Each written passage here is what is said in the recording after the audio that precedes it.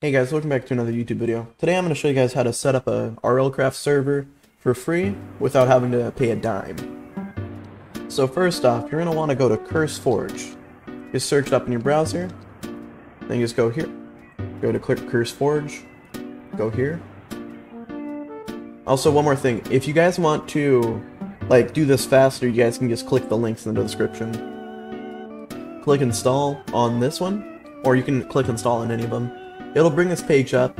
If it does not show the download thing, then just click this or click this. But you're gonna want to download this app because it's gonna be make the, the it'll make uh, setting up the server significantly easier. Uh, some of the comments on my previous video were, can I do this with the Technic launcher or etc etc. Um, I'm gonna show you guys why I don't think you can, but I'm sure you could still make a server using a different method. So next off, you're going to want to search up Aternos. Uh, go here. And then just click play. But I already have the... Basically, you click play. Then it'll bring this up. Um, if if you're a first-time user, then you're going to want to sign in and make an account. But I already have the... I'm already logged in, so it's not much of a deal. So I'm going to go here.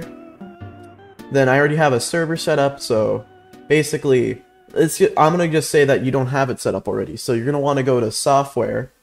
You could click here or here. It's not much of a deal. So go to software, go to mod packs, go to curse, because I checked uh, the other ones. If if by some reason they update it right after I upload this video, then you could probably use a different launcher, but for right now, I'm pretty sure you can only use curse or like the Twitch launcher which got taken down. But if you use like a different method, then I'm sure you could do a different launcher, but I prefer using Curse, so I guess use Curse Forge.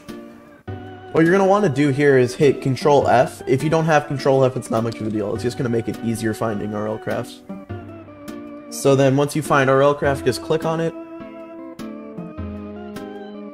Then click this button and it will install it real quick. Now that it's installed, we'll go to server.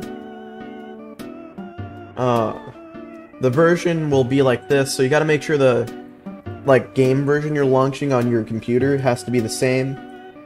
And I'd recommend doing this while you're um, while you're waiting for the RLCraft to, while you're waiting for CurseForge to download. So next, let's just now let's say that uh, CurseForge just finished downloading. We'll go to CurseForge, just go to Browse Mod Packs. I already have it, but I'll show you guys how to find it. Browse mod packs. All you gotta do is search up RLCraft in the little search bar. Uh, it'll you'll want to install it right here. Um, once you install it, it should be pretty simple and whatnot. Also, one more thing, I just remembered this. Uh, sorry about not mentioning this sooner. When you install um, the when you install the Curse Forge, you're gonna probably want to install it into your drive that has Minecraft with it. So you'll probably want to install it with Minecraft, not in a different drive. I only say this because, I mean, I haven't not done this, but I just really recommend doing it, just to be safe.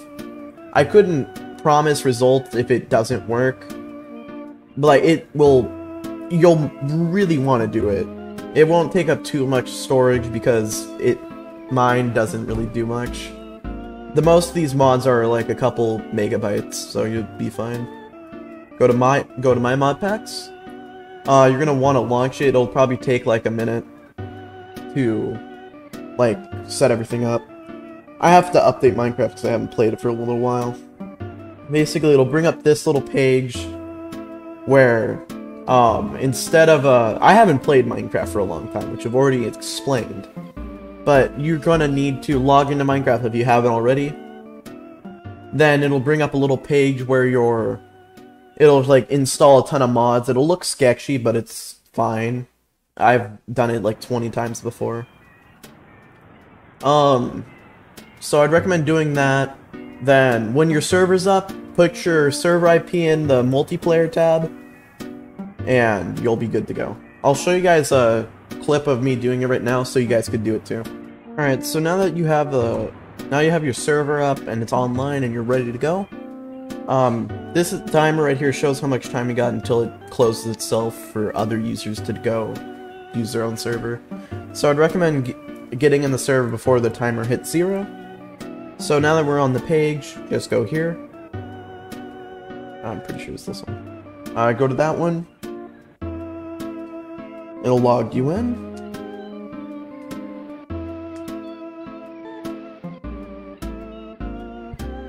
Sometimes it'll take a bit. Also, one more thing. Um, if you have a little bit of trouble with Aternos, I'd recommend going there's help and support section, or you could just message me on youtube.com or something like that. Uh, more questions real quick. Um, I'd recommend using the Curse Forge launcher like I've said earlier, because it's more reliable in my opinion. I can't promise you if it'll work on a different launcher. Feel free to look it up, but I'd recommend just using the Curse Forge launcher. It's not much more data or whatever. Uh, one more thing. If when you're, while you're playing, I'd recommend keep inventory on because this game is a pain, and having keep inventory makes it slightly less. One last thing. Every, one more thing. Whenever someone dies, you have to turn it back on because it disables it right after. So just don't die too often. Um, let me just make sure that I got everything. So, uh, Aternos are probably going to be slow servers, but like once you've been using it for a while, it'll probably even out and the server will be alright. So yeah, I'd recommend just doing all those things that I've said.